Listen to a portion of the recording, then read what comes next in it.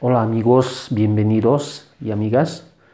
Bueno, en este caso te voy a presentar un ejercicio muy importantísimo y además clásico. Y bueno, si estás en colegio, te va a servir. Y si vas a ingresar a la universidad, también te va a servir porque es una pregunta del examen de ingreso. Y bueno, si estás en la universidad, también te va a servir ya. Entonces, vamos a empezar a resolver el ejercicio. Acá tenemos un ejercicio matemático fraccionario y bueno, lo que tenemos que hacer es simplificarlo, ¿no? Y lo vamos a simplificar y vamos a empezar.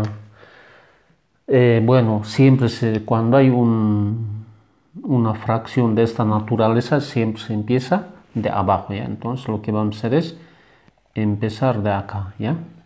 Ahí lo vamos a empezar y bueno lo que vamos a hacer es resolverlo ya a ver acá vamos a copiar esta parte. 5 más 6 ya tenemos quebrado 7 no y cuando hay un, cuando un ejercicio tiene un solo denominador eh, bueno el denominador común siempre va a ser eso ya entonces lo sacaríamos 7 ya y ese 7, bueno, acá 5 no tienen denominador, entonces se sobreentiende que por debajo tiene 1, pero eso no afecta, jóvenes, para nada, entonces no va a afectar en nada más, ¿no? Entonces si, vamos a poner acá, ¿ya? Para que lo entiendas mejor, ¿por qué? Por eso estás en este canal, para que te explique mejor, ¿no? Entonces aquí vamos a hacer una operacióncita. 7 dividido entre 1 es a 7. 7 por 5, 35. ¿Ya? Más, acá tenemos más. 7 entre 7 a 1, 1 por 6, 6, ¿no? Entonces acá se, se hace una suma. 35 más 6 es 41, ¿no? 41 sobre 7, ¿ya? Entonces vamos a anotar el resultado acá pero antes vamos a copiarle así está el ejercicio. 1 2 3 más 4 ¿no? entonces en lugar de esto ya vamos a anotar acá el número que es 41 sobre 7 ¿Ya? Entonces, jóvenes, así ya estamos resolviendo. Voy a borrar esta partecita. Y bueno, acá hay un, un, una fracción también que es impar. Entonces, lo que se hace con esta parte es esta, jóvenes. Les voy a enseñar. Como, como esto hemos resuelto entonces esta fracción completa, ¿ya? Denominador. Pero el 4 no tiene su denominador. Entonces lo que se hace es, jóvenes, acá vamos a hacer 4, copiamos y debajo ponemos un denominador que es 1, ¿ya? Y debajo lo copiamos 41 sobre 7, ¿ya? Eso, jóvenes. Entonces lo que tenemos que hacer es multiplicar de esta forma extremos con extremos y medios con medios, ¿ya? Y los extremos siempre va al numerador, ¿ya? Y los medios al denominador, o sea que abajo. Entonces vamos a multiplicar 7 por 4 es 28. ¿Ya? Como hemos dicho que va al numerador, entonces estamos llevando al numerador y el, los extremos va al denominador. 41 por 1 es 41, ¿no? Entonces, eso es lo que vamos a anotar acá. Primero vamos a copiar 1, 1 más 2, 3 más. Entonces, el resultado de esta es 28 de 41. ¿Ya? Y bueno, como hemos hecho en el primer caso, la misma operación en esta parte. ¿eh? Lo vamos a resolver, esa parte. Acá voy a hacer, siempre voy a borrar. Entonces, mejor si copian jóvenes. Acá lo vamos a sacar. 3 más 28 quebrado 41. ¿Ya? Como en principio hemos dicho jóvenes o señoritas, amigos. Y bueno, cuando hay, cuando la fracción tiene un solo denominador, o sea que en este caso es 41, entonces su denominador siempre va a ser 41, ¿ya? Y acá hemos dicho que tenemos uno, pero no es necesario anotarlo y por lo tanto lo vamos a dejar, o vamos a ponerlo ya, por esta vez más. Y lo que se hace es jóvenes, el 41 dividido entre este, pero todo dividido entre 1 es el mismo número, ¿no? 41 dividido entre 1 es a 41 por 3 sería 123, ¿no? 123 más, acá es más, 41 entre 41 es a 1, 1 por 28 es 28, ¿no? Entonces acá vamos a tener 123 mm, más. 28 es 151, quebrado 41. Entonces, vamos a anotar el resultado de esta fracción.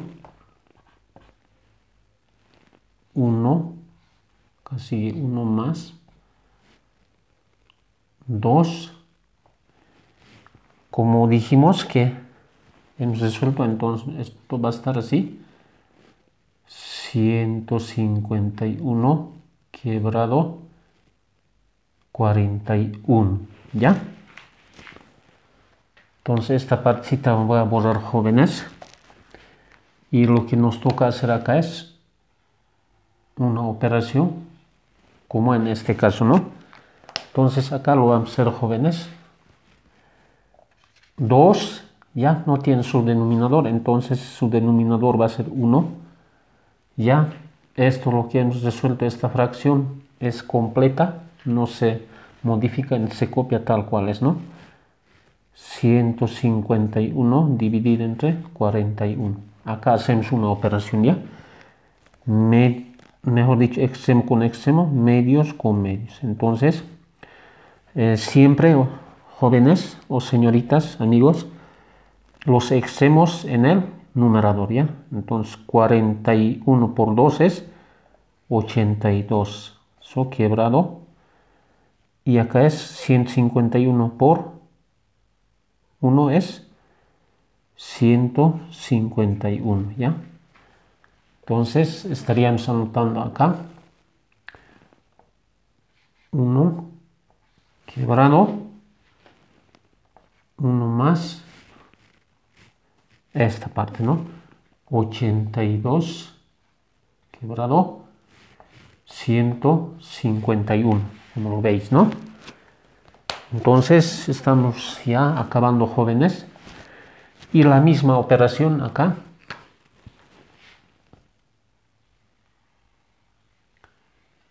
La misma operación, entonces lo realizamos 1 más 82 dividido entre 151, ¿ya? Eh, bueno, acá tenemos un denominador que es 1, vamos a ponerlo sigue, ¿ya? Y cuando, cuando hay una fracción con un solo denominador que es mayor a 1, entonces siempre va a ser el mismo denominador mayor, ¿ya? en este caso, 100 151, ¿ya? Eso dividimos 151 entre 1 es 151 por 1, 151 más 151 en 151 a 1 por 1 por 82 es 82, ¿ya? Entonces, ya lo tenemos. Acá se suma a ver, 151 más 82 va a ser igual a... Ya, acá va a ser 3. Acá va a ser...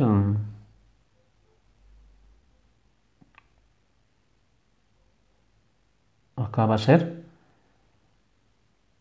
13. Acá va ser 2, ¿no? Entonces, 100, mejor dicho, 233, ¿ya? 200, 233 quebrado 151, ¿ya? Entonces, jóvenes, de esta forma eh, estamos resolviendo y bueno, vamos a colocarlo acá ya. Nos entra todavía. Nos entra, ¿eh? Uno copiamos y 233 dividido entre 151, ¿ya? Y bueno, ahí también tenemos una fracción que es impar, entonces lo que vamos a hacer es lo siguiente.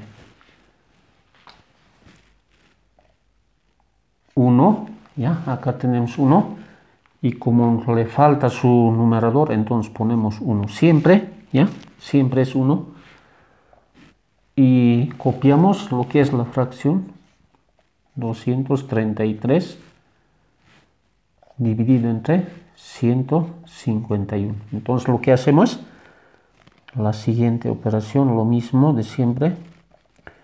151 por 1 es 151, ¿ya? Y los del medio van al denominador. 233 por 1 es 233. Entonces, el resultado final de esta tenemos 151 quebrado 233 está acá ya. Bueno queridos amigos y amigas es el resultado. Y bueno no dejes de compartir con tus amigos y para que no te lo pierdas ningún videito bueno suscríbete y déjanos tu comentario. Bueno gracias en nosotros estamos de retorno